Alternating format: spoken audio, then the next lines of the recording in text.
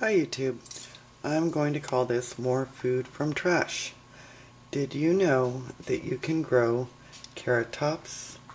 After you cut the top off the carrot, you simply put it in a little dish of water and the tops will start to grow.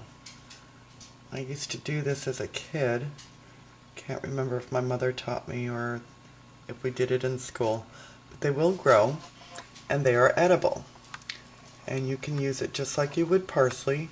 You can sprinkle it on salads or what have you and um, even cook with it, although it doesn't have very strong flavor. It's kind of like parsley. It's in the same family. You just have to change your water fairly regularly every day and um, you should grow some nice little green tops. Now because I knew about that, I had someone brought me some turnips the other day and one was sprouting a bit and I thought gee I wonder if you can do it with turnips. So I have started this one which seems to be going wonderfully well. Um, I imagine they can also be used in salads also or cooked. I don't think you're going to get a whole lot from them but you know why not? If nothing else your little furry critters might enjoy it.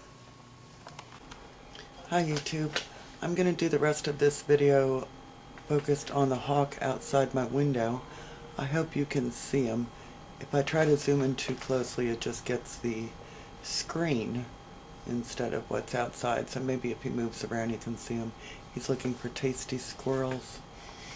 Anyway, um, back to food from trash.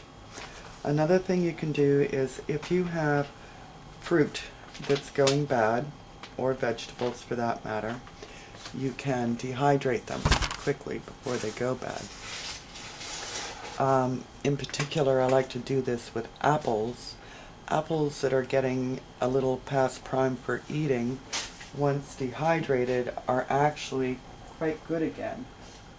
Um, they're very tasty as little apple treats, and my family goes through them like nuts. Um, and keep in mind, if you're dehydrating vegetables or fruit, such as apples or carrots that have skins, if you have peeled them, those skins can be dried and saved as treats for your little furry animals. And if you um, are a braver person, as am I, you could also take those bits and make them smaller bits and use them in baked goods and soups and stews and no one will ever know the difference. Another thing you can do with peels is if you take citrus peel and grate it, not only can you dry it and save it just in the grated form, but you can add it to sugar and have flavored sugars. So you could put some lemon peel in about a cup of sugar and have lemon flavored sugar. That can be used for baking or making lemonade or what have you. You can also do that with a vanilla bean. I personally don't use vanilla beans, but if you did, once you scrape out the inside of the vanilla bean, which is what you use, you're left with the outside pod. You could put that pod into sugar and now you have vanilla sugar.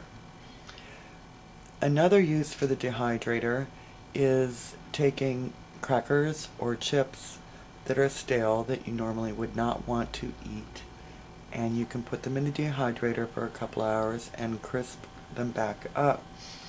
I was surprised when I tried this that they were every bit as good as before they had gone stale. Now with chips, if they've gone rancid, that's a whole nother thing and they will not taste good, dried or not. For those of you who do not have a dehydrator, you could simply put the chips or crackers in a low oven. I don't know how long you'd have to leave it there because I've never done that, but I suspect not very long. You could also use the oven to dry uh, fruit or um, fruit peels. You would simply put them on a rack in the oven, cookie sheet, then a rack in the oven, and just leave your door open so that the light is on and nothing else, no heat, and they will dehydrate. You could also string them and hang them in front of the fire, and that's the old-fashioned way. So I hope these tips were helpful, and if you have any tips of your own, I think it would be great if you would put them in the comments section below. And just a quick update, I'm I still am using my homemade laundry soap, and I still love it. So take good care, folks. Bye now.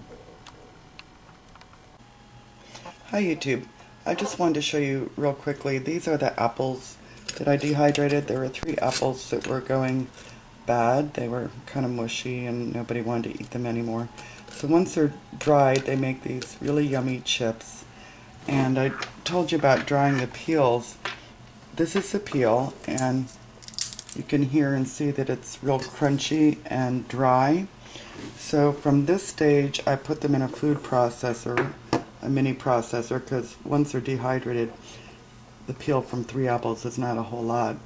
But I crush them up and put them in this jar and I will use that for baking or sprinkling uh, oatmeal or, you know, whatever.